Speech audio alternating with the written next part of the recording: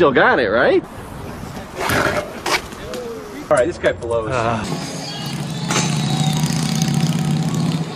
What happened to you?